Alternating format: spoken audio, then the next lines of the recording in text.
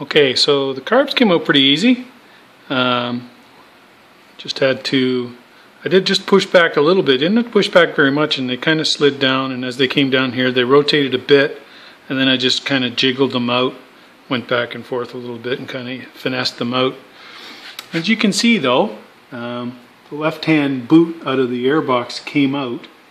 So what happened was the uh, clip, the uh, clamp there, got stuck. And I'll come over to the carbs and kind of show you.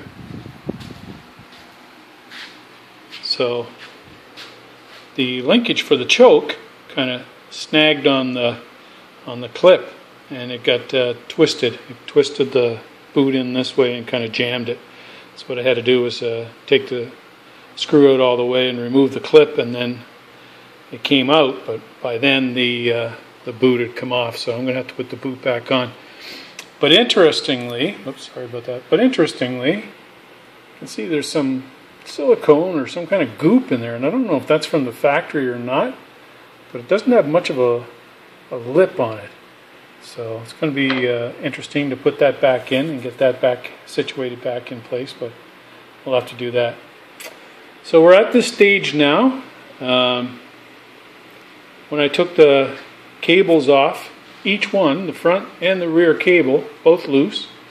The uh, locking uh, nut was not tight. Um, I found out also that the uh, airbox is not on tight.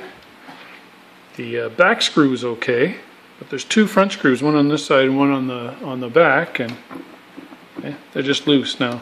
There's the airbox is kind of slotted at the top, and it just slides down on top of those, so I'll have to take off the fuse panel on this side and the battery box on the other to access them to see if the if they're even there or not.